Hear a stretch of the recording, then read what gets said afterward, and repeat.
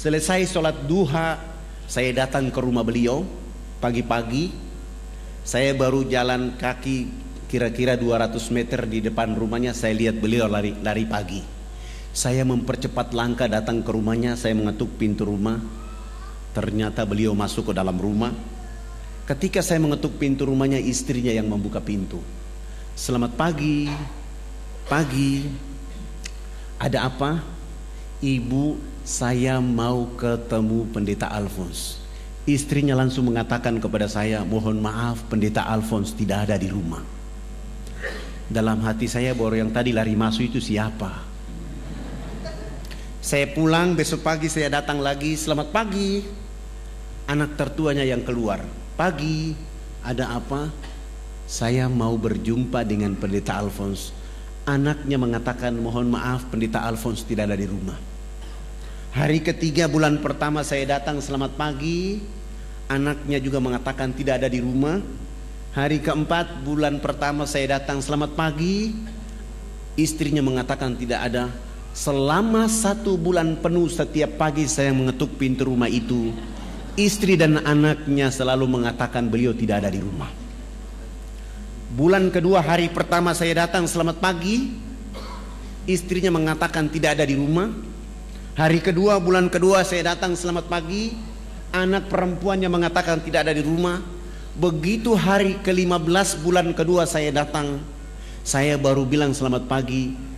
Istri dan anak pendeta menunggu saya di depan rumah dan memaki-maki saya di depan rumah. Bapak ini tidak bosan tiap pagi datang ke rumah kami. Kami sudah bilang pendeta Alphonse tidak ada di rumah, Bapak masih saja datang ke rumah kami. Besok hari ke-16 bulan kedua tetap saja saya datang ke rumah itu. Sampai dua bulan penuh saya tidak ketemu dengan pendeta Alphonse kecuali jawaban beliau tidak ada di rumah. Bulan ketiga hari pertama saya datang istrinya mengatakan tidak ada di rumah.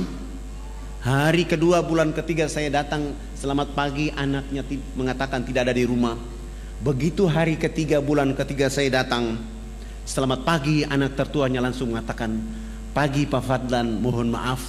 Bapak pendeta tadi malam jatuh sakit sehingga kami bawa ke rumah sakit. Saya langsung memuji Allah dengan kata-kata Alhamdulillahirrahmanirrahim Saya tidak pulang ke rumah. Saya langsung dari rumah pendeta Alfons menuju ke rumah sakit.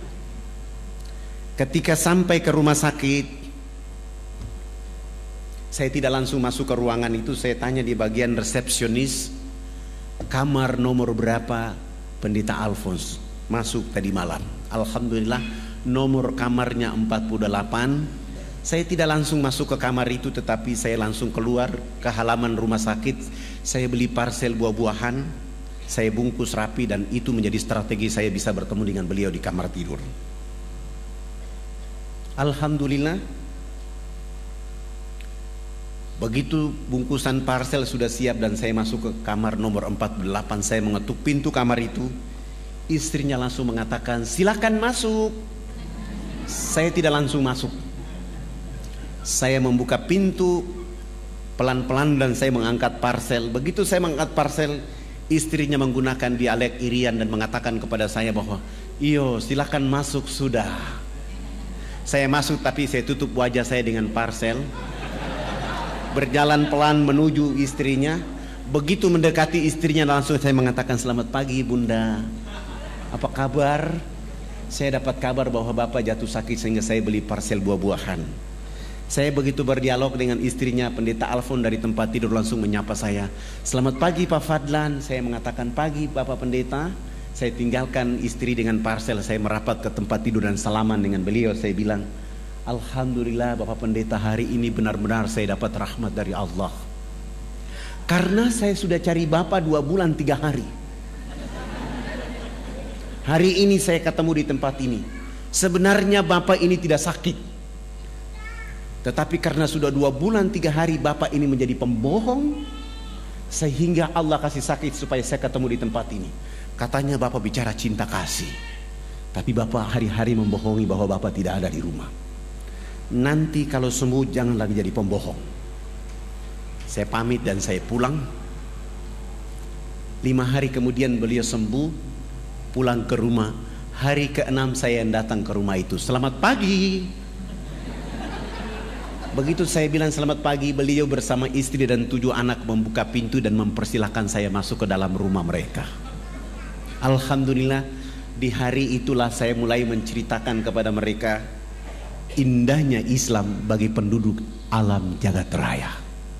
Dari jam 9 pagi sampai jam 12 saya pamit pulang. Pendeta Alphonse bilang sama saya, Pak Ustadz, usahakan besok datang lebih pagi lagi. Alhamdulillah besok pagi saya datang mulai dari jam 7 sampai duhur, saya sholat duhur selesai, saya melanjutkan sampai asar. Pekerjaan itu saya lakukan lima hari berturut-turut. Menjelang hari kelima, beliau bersama istri menyatakan sikap hijrah mengucapkan dua kalimat syahadat. Beliau masuk Islam. Alhamdulillah Namanya saya ganti dari Alphonse menjadi Abu Sofyan. Istrinya pun saya ganti nama dengan Tadi namanya Wilhelmina Saya ganti dengan nama Fatima Anak-anaknya juga saya ganti nama dan Saya ada sedikit tabungan Saya bilang Bapak Ini rumah dinas pendeta saya ada uang, saya kontrak rumah lebih besar, kita keluar dari rumah ini supaya memudahkan saya untuk mengajarkan Al-Quran dan menuntun mereka untuk sholat lima waktu. Alhamdulillah, Abu Sofyan sudah mulai belajar baca Quran bersama anak laki-laki dan perempuan dan sudah mulai belajar sholat lima waktu dan Alhamdulillah beliau sudah mulai sholat Jumat di masjid.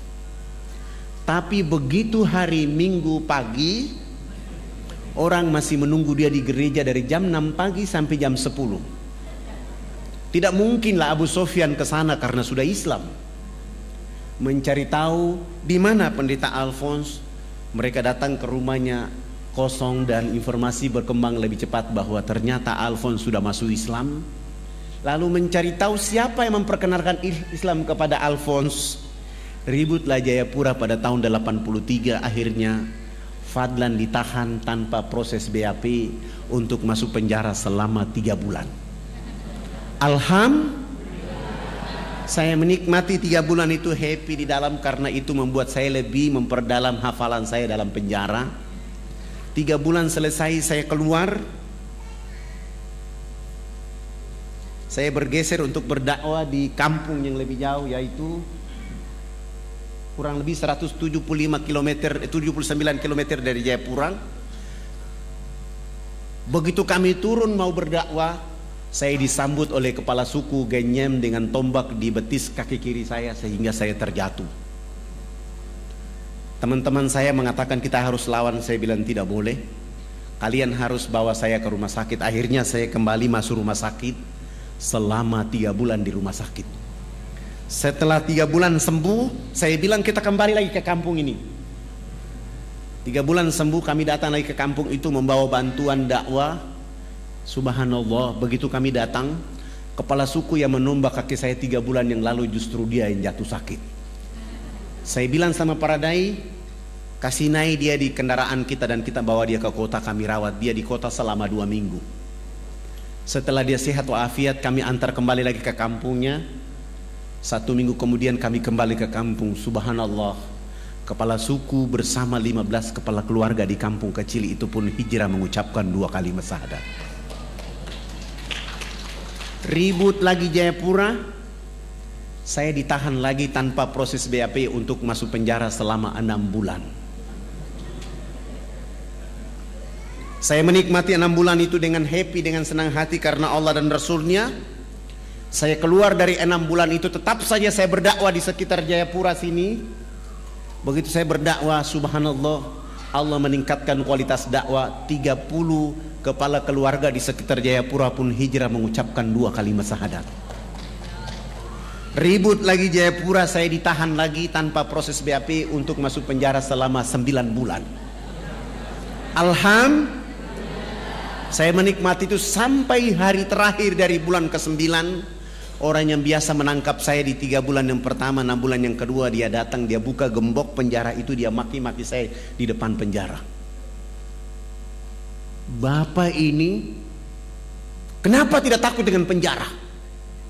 Tiap bulan tidak ada orang lain yang masuk ke ruangan ini kecuali Anda.